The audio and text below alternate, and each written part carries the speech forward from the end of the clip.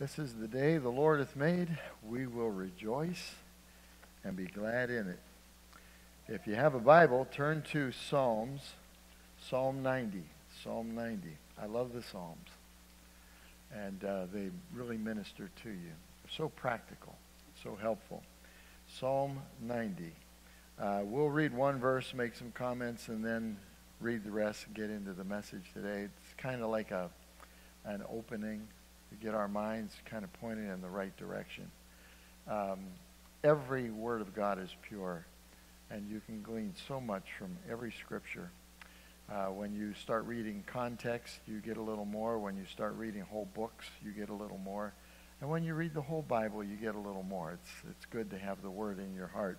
Psalm 90, look with me at verse 9. The Bible says, the latter part, we spend our years as a tale that is told. As a tale that is told. We're all writing the story of our lives. Um, it might not be in a book somewhere down here, but it is in a book somewhere. And the Bible talks about that. The psalmist said, My tongue is the pen of a ready writer. Uh, he saw things and he recorded them or wanted to. Uh, of course, a lot of things we talk about, those words are in eternity. Amen? Think of that. That's pretty powerful. Um, if I was writing the story of my life, and I've contemplated that, I mean, obviously you can't put everything in there, but I wanted to bring some things out. But I would probably rip out some chapters. I would probably not want to write about some chapters in my life. Uh, I might want to, like to this point in my life, rewrite some of the chapters. Um, they came to Pilate. Pilate put that uh, superscription over the Lord when he was crucified. This is Jesus, the King of the Jews. And they came and they said, don't put that up there. Say, he said he was the King of the Jews. Big difference in the meaning. And Pilate said, what I have written, I have written. And what God has written, God has written. Amen? And uh, that's the same with us. The story that we've told from our lives, it is there. But I was thinking about this uh, last night and this morning. There are some biographies, autobiographies that are written, and you read the stories of these people, and they're really bad. You know, they're away from God. They're just bad stories. But then you see in the last chapter the story of the grace of God. And sometimes you had to read the bad to see how good the grace of God is. Where sin abounded, grace did much more abound. And God comes along and he finishes the book. Amen. And even, even if we were like the thief on the cross, and at the very end we say, Lord, remember me when thou comest into thy kingdom, he still now has eternity to be with the Lord. What a story. What a story. They're just a blessing to think about. Um, there was a preacher and an actor. Uh, they were talking one time, and the actor finally said to the preacher, he said, You say the truth, but you say it like it's fiction. And uh, he said, We say fiction, but we say it like it's truth. And when you think about Hollywood, you can watch a movie and you can be so enraptured in that movie and it's not even true, you know, it, whether it's danger, whether it's help for somebody, whether it's a love story, and you're sitting there crying and the story's not even true you know? And they have all kinds of movies out about the apocalypse and all of these things, and people are afraid to watch them. But it's Hollywood, you know? But we have the Bible. Amen? We have the Word of God. And we need to not preach it or share it like it's fiction, but we need to preach it and share it like it is truth. Amen?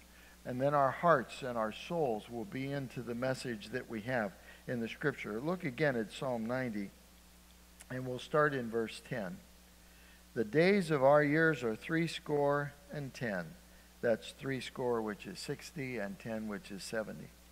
And if by reason of strength they be fourscore years, 80, yet is their strength labor and sorrow, for it is cut off and we fly away. There's an old, old time hymn, I'll fly away, O glory.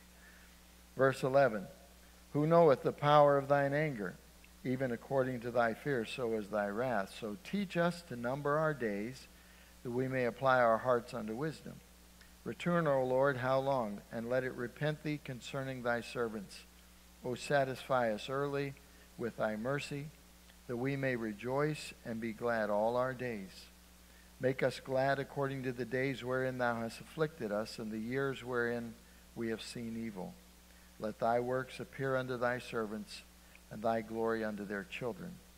And let the beauty of the Lord our God be upon us, and establish thou the work of our hands upon us. Yea, the work of our hands establish thou it. Teach us to number our days. Amen. Let's bow our heads and pray. Father, God, help us in this service. May your Spirit uh, just have, have his way in every heart, in every mind. I pray that the, the words would be alive and living and powerful. I pray that they would be life-changing. And many of us have been Christians for years. We know a lot of Bible. But we pray, like the psalmist said, anoint me with fresh oil. I pray, God, you would enlighten us and open our hearts to these truths. In Jesus' name we pray. Help us. Amen. It's a great psalm, and it has great truth. In Ecclesiastes chapter 12 and verse 1, the Bible says, Remember now thy Creator in the days of thy youth. Here's a young man. Remember God. You know, start your life out right. But you come to the Psalm, Psalm 92, 14. We are to have fruit in old age. And that's the fruit of the Spirit, but it's also he that winneth souls is wise, the fruit of, of the soul winning part of that. In Psalm 71, uh, if you want to turn back there, you may. It's right around the corner. And Psalm 71, let me find the verse, verse 9. Cast me not off in the time of old age. Forsake me not when my strength faileth. I have that underlined, circled, in two different colors in a, a well-worn page of my Bible. so you pray those prayers. You come down to verse oh, 16. I will go in the strength of the Lord God. I will make mention of thy righteousness, even of thine only. I go in his strength. So we pray for his strength. There's a number of verses that tell us to do that. Verse 18.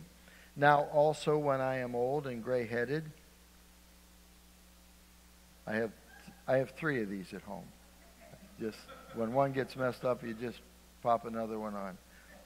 When I am old, and by the way, gray-headed, I have some friends that are, were very young when they got gray. You know, so that isn't always true. Anyway, back to the scripture. Now also, when I am old and gray-headed, O God, forsake me not. Forsake me not, until I have showed thy strength unto this generation and thy power to everyone that is to come. And, you know, what a prayer that is because God doesn't forsake us. He will never leave us nor forsake us. You go to Psalm 73, it's the same type of principle in verse 23 if you want to look at it. Nevertheless, uh, David is talking about how foolish he was in envying certain people because he knows their end, but he knows his end. And so it takes away that envy and that regret uh, because he's happy about what the Lord's done for him. He says in verse 23, Nevertheless, I am continually with thee. Thou hast holden me by my right hand. Thou shalt guide me with thy counsel and afterward receive me to glory. So there is an afterward. Amen? This isn't all there is to it, and I think that's an important thing. Um, I was thinking of the lady that I mentioned in announcements and how she is passed and now that she is with the Lord, and how her life was a wonderful story and a wonderful testimony. I think 93 years old. Um, I've been preaching for a number of years and I've preached this text before about, um, let me get there, uh, Psalm 90. That's in the Bible over this way. Okay. One more page. I lied. One more page. It says, The days of our years are three score and ten, if by reason of strength they be four score years. So, 70 years old. I remember making some notes when I was 56 and I preached this message. I remember preaching it in Sturgis. And I said, if that verse is true, 70 years, I've got 14 more years. Am I correct in that? 70 minus 56, uh, carry the 7 and add the 2, and okay, 14 years. And well, those 14 years went quick. And here I am, 70 years old. I know I don't look 70, and I'm very humble. But, uh, I mean, you get, you get, you get older and you get older quick, you know? And you, man, how long have I been out of school? You know, and I remember going to kindergarten. I mean, the time just, it just passes. And so we don't know if we're going to make it to 70, and we don't know how long we're going to make it after 70. But God does. And the point of the message today is what comes after that.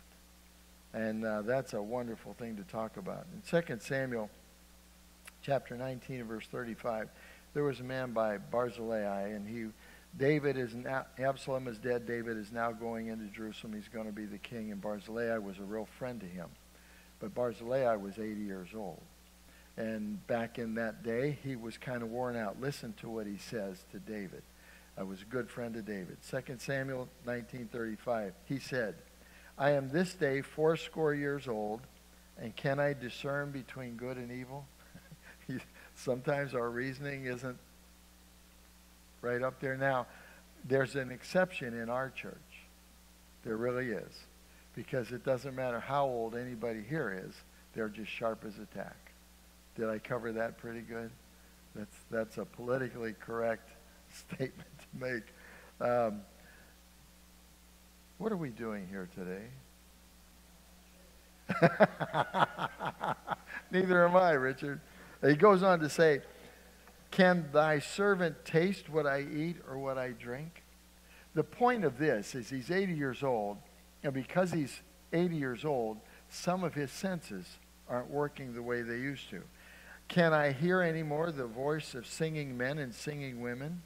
Wherefore then should thy servant be yet a burden unto my Lord the king? He says, I'm a physical burden, and I don't want to be that burden to you. And, uh, but we see the point there. But the point that I'm going to bring out today is not our past, not our, even our present, but our future. It says in our text in Psalm 90, we fly away. And then Psalm 73, afterward. So there is a great, great, great day coming. Uh, Spurgeon wrote this. He said, It is soon cut off, quoting Psalm 90, and we fly away. The cable is broken and the vessel sails upon the sea of eternity. The chain is snapped, and the eagle mounts to its native air above the clouds. It is soon cut off. We're like a, a caged bird. And one day that cage is going to be open and we're going to fly away. That's how the Bible describes that. In James chapter 4 and verse 14, whereas ye know not what shall be on the morrow, for what is your life? It is even as a vapor. A vapor that appeareth for a little while, a little time, and then vanisheth away. 1 Chronicles 29, 15. It says, For we are strangers before thee, and sojourners, as were all our fathers. Our days on the earth are as a shadow, and there is none abiding. One more, Job 14, 1. Man that is born of woman is of few days and full of trouble. History, Durrell said, is an endless repetition of the wrong way of living. What a statement to make. And somebody else said, one thing we learn from history is that we don't learn anything from history. And so it's like a spiral, you know. And uh, what is the second law of thermodynamics? You say, you know all that stuff? No, I read this illustration in a book.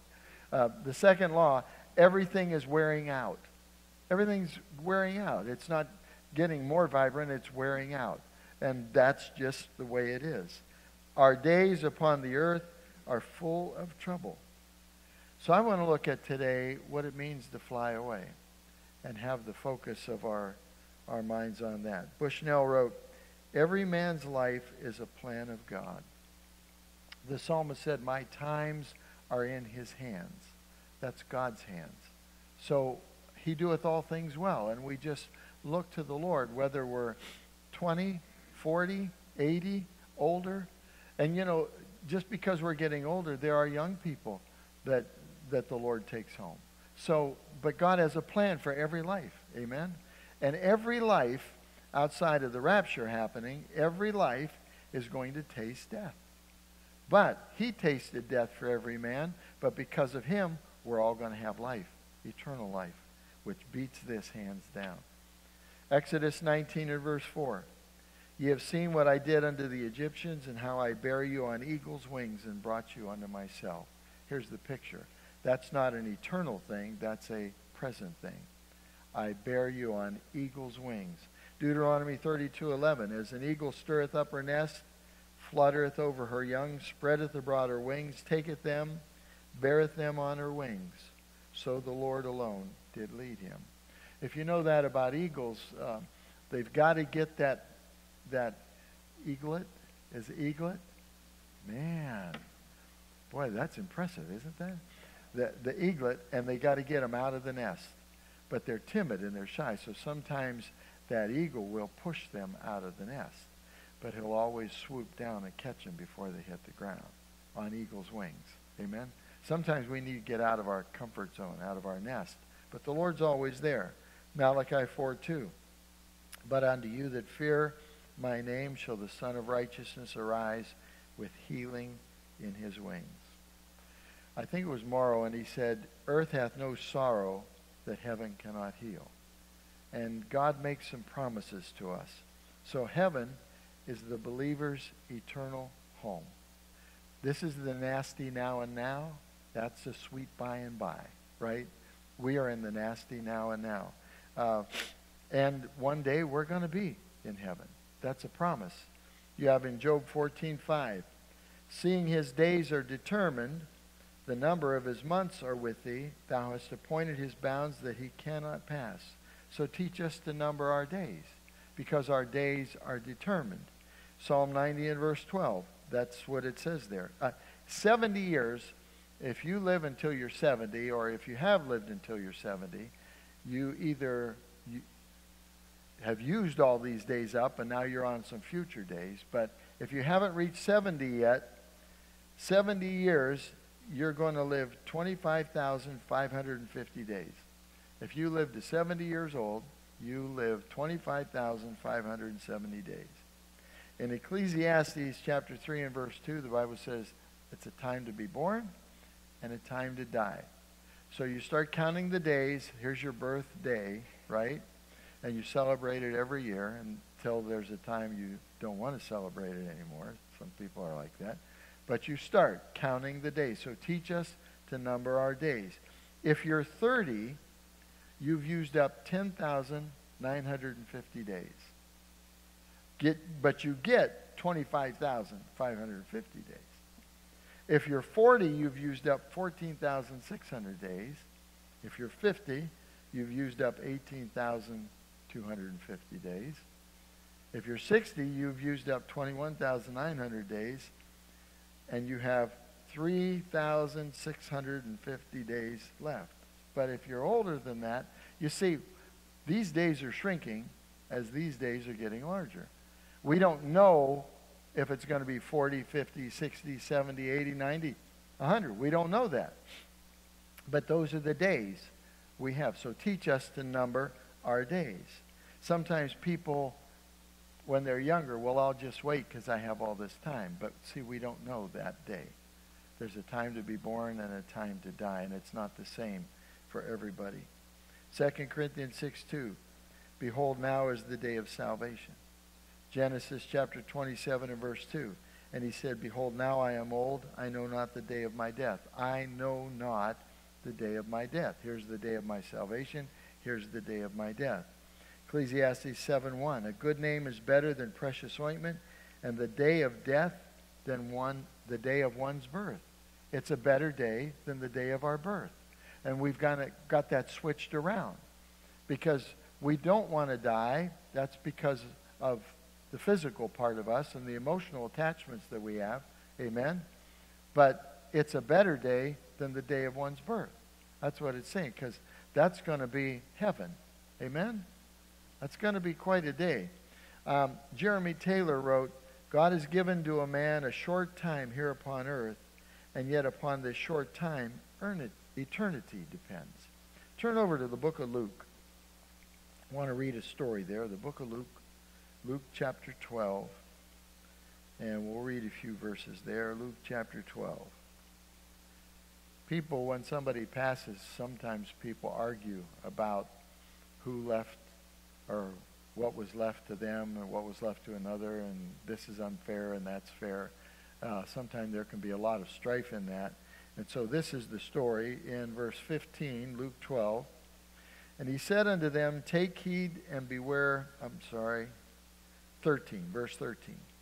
And one of the company said unto him, Master, speak to my brother that he divide the inheritance with me. And he said unto him, Man, who made me a judge and divider over you? There are th- some things the Lord just has no interest in. Amen. And verse 15, And he said unto them, Take heed and beware of covetousness. For a man's life consisteth not in the abundance of the things which he possesseth. And he spake a parable unto them, saying, The ground of a certain rich man brought forth plentifully. And he thought within himself, saying, What shall I do, because I have no room where to bestow my fruits? And he said, This will I do. I will pull down my barns and build greater, and there will I bestow all my fruits and my goods. There was plenty, plenty. And I will say to my soul, Soul, thou hast much goods. Watch the, watch the phrase here. Laid up for many years. That's taking care of the future, right? That is what we call in America retirement. And you try and do the best you can. But this, he had an excessive amount. Take thine ease, eat, drink, and be merry. But God said, so he said, this is what I'm going to do. And God said something else. God said, unto him, Thou fool, this night thy soul shall be required of thee. Then who shall those things be which thou hast provided? So is he that layeth up treasure for himself and is not rich toward God. I was looking at that again this morning, and I decided to read a couple verses out of Ecclesiastes to go along with that.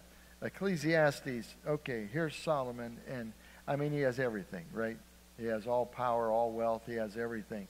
It's in chapter 2, it goes over that. Let me just bring out a couple phrases. I made me great works. That's verse 4. Verse 7. I had great possessions. Verse 9. So I was great. And he goes on and on and on. And he finally comes down to verse 17. Therefore I hated life. he, had, he had everything that he could have. Therefore I hated life because the work that is wrought under the sun is grievous unto me for all is vanity and vexation of spirit. Yea, I hated all my labor which I have taken under the sun because I should leave it unto the man that shall be after me. I've worked and I've got to leave it to somebody else. And sometimes we're insurance poor. You know what I mean? We're poor because we pay for so much insurance. But when we're gone, somebody else is going to benefit from that. Amen.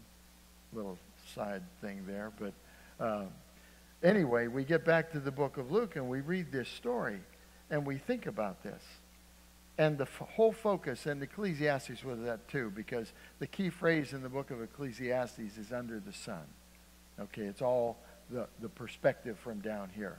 But here's a man, he had more than heart could wish. And what did he do with it? In Isaiah 56 and verse 12, Come ye, say they, I will fetch wine, and we will fill ourselves with strong drink and tomorrow shall be as this day, and much more abundant. Really? Will it really be that way? I mean, we're all planning, right? We're planning for so many things. James 4, 13 and 14. Go to now, ye that say tomorrow, today or tomorrow we will go into such city, and continue there a year, and buy and sell and get gain, whereas ye know not what shall be on the morrow. For what is your life? It is even a vapor that appeareth for a little while, and then vanisheth away. No, we're going to do this for a year. You don't know if you're going to do that for a year. Well, that's a plan, and you got to make plans, but you don't know what God's going to do with those plans. The days of our years. Leviticus 14:2, and there's so many verses like this and so many applications. This shall be the law of the leper in the day of his cleansing. Okay, you go back to Leviticus and you find the law of the leper. This is what the leper needs to do on the day of his cleansing. That was a big day for him. You have Numbers 10.10. Also in the day of your gladness. 1 Samuel 13.22. In the day of battle. Psalm 20 and verse 1. In the day of trouble. Ecclesiastes 7.14. In the day of prosperity. Be joyful, but in the day of adversity, consider. God also has set the one over against the other. So they both have a purpose. So here's a day this is happening. What is God saying to me? What is God speaking to me about? This is another day. What is this? What is God trying to do in my life now or somebody else's life? We spend our years as a tale that is told. So, if you look backward and in your own mind, uh, just look backward at your life. Uh, remember your childhood, something from your childhood. Maybe uh, remember your first time in church. Maybe you weren't going as a child and your parents didn't go. Uh, remember the day you got saved. Remember this day. Remember that day. There are big days. Remember your wedding day. Remember this day. You know, remember the day that a dear friend died, but you knew they were with the Lord. I mean, there's all kinds. There's heartache. There's joy. You know, there's fear. There's regret, right? And that's, that's our past. But what about our future? What is that going to be like? We know the day of our salvation. We don't know the day the Lord's going to come for us, or we don't know the day the Lord's going to take us home. Amen? But we know what's going to happen after that, and that's a blessing. In Ecclesiastes 8.8, there is no man that hath power over the Spirit to retain the Spirit, neither hath he power in the day of death, and there is no discharge in that war. He doesn't have any power. Um, and, is it appoint- and as it is appointed unto men once to die, but after this the judgment. So it, there's an appointment. Amen? And we don't presume upon God, well, God knows when I'm going to die, so I'm just going to jump off the Empire State Building. Well, I guess that's the day. you know what I mean? And uh, but you you don't presume upon anything and live recklessly. But I mean, there's a day out there. Amen. God knows from eternity past all the way through eternity future. He's the Alpha, the Omega. He's the beginning and the end. So he knows. He knows everything. He knew if you were going to accept him as your Savior. He knew that foreknowledge. He didn't make you, but he knew it. Amen? So he knows when our day is. So let teach us to number our days. Our days. Every day, something can be done for the Lord. Maybe it's just praying for somebody, but every day is an important day. Ephesians 4:30, the day of redemption. Only one life will soon be passed. Only what's done for Christ will last. Only one life will soon be passed. In our text, there's 70 years and there's 80 years. But go back to Genesis chapter 5, and we'll start the message. Why, Miss Lee? Genesis chapter 5. You read Genesis chapter 5, and he died, and he died, and he died, and he died, and he died, and he died. I'm not exaggerating. And he died, and he died, and he died. I mean, if you read that chapter, that's what you'll find. Verse 5 All the days that Adam lived were 930 years, and he died. That's a long life, man. 930 years. Can you imagine how good you'd be on the piano? Probably, you'd probably be as good as Judy if you took lessons for 930 years.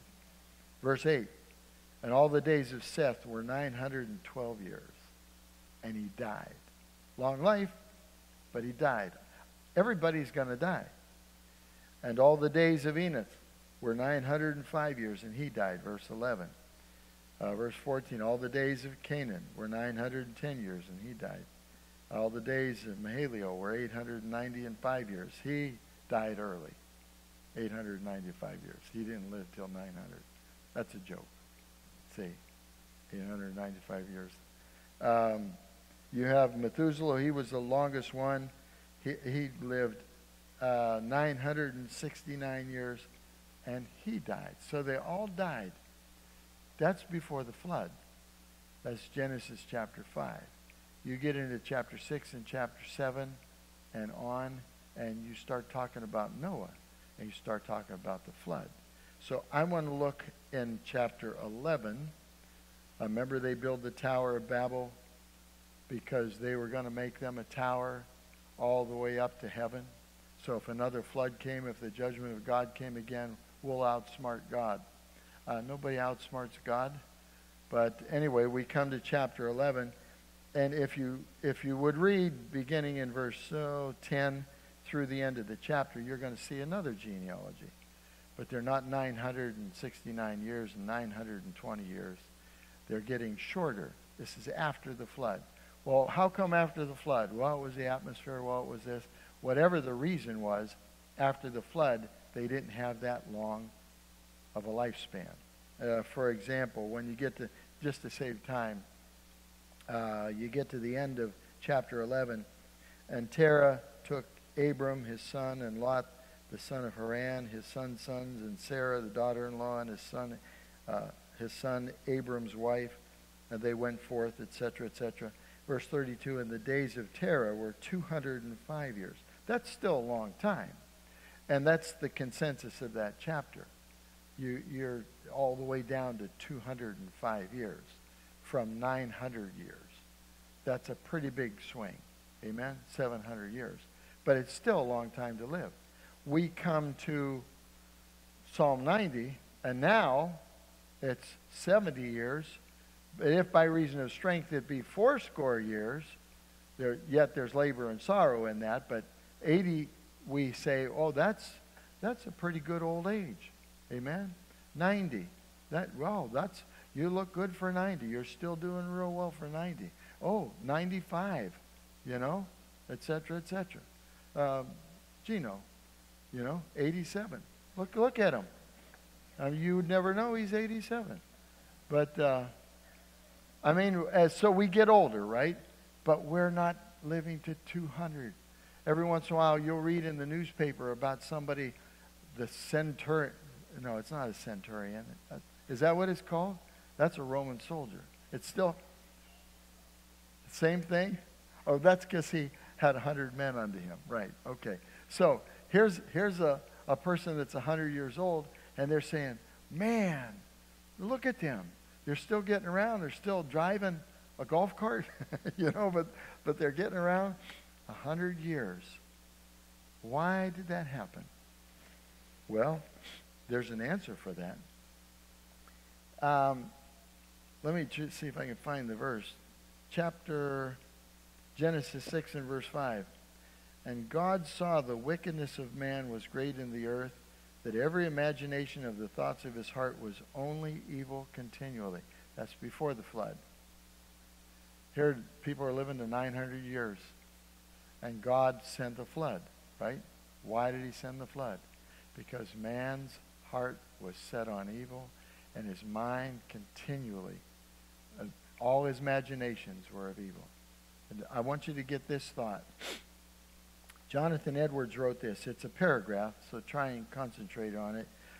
Man's life being cut so very short tended to prepare the way for poor, short-lived men the more joyfully to entertain the glad tidings of everlasting life. Brought to light by the gospel and more readily to embrace a Savior that purchases and offers such a blessing. If men's lives were still commonly about 900 years, how much less would be the inducement to regard the blessings of a future life? How much greater the temptation to rest in the things of this world? and to neglect any other life but this. This probably contributed greatly to the wickedness of those people that lived before the flood. But now, how much greater motives have men to seek redemption and a better life than this by the great Redeemer, since the life of man is not one twelfth part of what it used to be, and men now universally die at the age when formerly they used to be setting out in the world. There are so many verses in the Bible and so many ways to go with that principle and that truth that is true. Because judgment is brought not brought speedily, man's heart is set to do evil. And that's in that's in the scripture. And what happens is all this time, well, I've got all this time. You know, I'm I'm only 150, you know, and I got 900 years and and just that that imagination just all it did was turn to evil. As, as in the days of Noah, as in the days of Lot, you know, and you go back and you see how that mind that's not serving the Lord. Oh, there was Noah. Oh, there was Noah. Oh, who else was there? Well, there was Noah, right? I mean, and it got like that. It was a terrible, terrible thing in the earth. And so God sent a flood. By the way, he promised not to send another one. In Ecclesiastes, it's better to go to the house of mourning than the house of feasting. For this is the end of all men, and the living will lay it to his heart. It's better to go to the house of mourning. It's better to think about our end and then what God is going to do for us. Amen? So teach us to number our days. And for the Christian, that is a real blessing. God, this is the statement of the message God is wise and merciful to reveal to mankind his brevity of life. God is wise and kind to reveal to us our brevity of life. Our life is like a vapor. It's here today, it's gone tomorrow. Our days are few and full of trouble. Oh, we enjoy the Lord and we enjoy some things, but it's a battle, is it not? We fight the flesh, we fight the world, we fight the wickedness in the world. And it seems like the wickedness is growing. And that's Bible. Evil men and seducers shall wax worse and worse, deceiving and being deceived. And so we see this in the news, and we hear about this, and we read about this, and we go, oh my, what's the answer? The Lord coming. Amen? Our eternal life. So teach us to number our days. Luke 12, 19, I will say to my soul, Soul, take thine ease, eat, drink, and be merry. I have much goods laid up for many years. What was his concept? Got all this time. I'm putting all my eggs in this basket. I'm doing this. But God said, Thou fool, this night thy soul shall be required of thee. Uh, there's a verse. What am I thinking of, Richard? Okay. Uh, yeah, the Bible says in Malachi 6, I just woke up. That's exactly the verse I wanted. Man, that's a good verse. But uh, what shall it profit a man if he shall gain the whole world and lose his own soul? You know, I read or listen sometimes about these these business people. They're not only billionaires, they're almost trillionaires, you know. I mean, what would you do with $50 billion? I mean, but really, I mean, what would you, you could spend so much money every day and you'd never run out of money. You'd probably give a billion to me, wouldn't you? Amen? Make that commitment in case you come into some money. But so he says to this man, and, and we see that principle in the Bible. Listen, we're just passing through. Amen? We're just passing through. And our days are few. So teach us to number our days. I mentioned earlier the thief on the cross. And uh, he said, Lord, remember me when thou comest into thy kingdom. And Jesus said, Today. Today thou shalt be with me in paradise. If there was ever a life story that was transformed at the last minute, it was that. And I heard a preacher say one time, there's only one story in the Bible that talks about that deathbed salvation. Uh, so we wouldn't presume upon God, but there is one so we don't lose hope. Amen? No matter what the story of your life, and it's being written, I mean, it's being written, you'll be remembered long after you're gone, and their works do follow them for good or for evil. But praise the Lord, the day is coming where we're going to be with the Lord, and that's the end of the story. Amen. Let's bow our heads, please. Father, thank you for the promises that we have. Thank you for the brevity of our life. We could read Genesis 5 and say, man, I wish I could have lived that long, but you know you're an all-wise God. Thank you for the brevity of life. Thank you for the eternity of everlasting life. And may our hearts and our minds be there. Teach us to number our days, that we may apply our hearts unto wisdom. In Jesus' name, amen. Let's stand, please.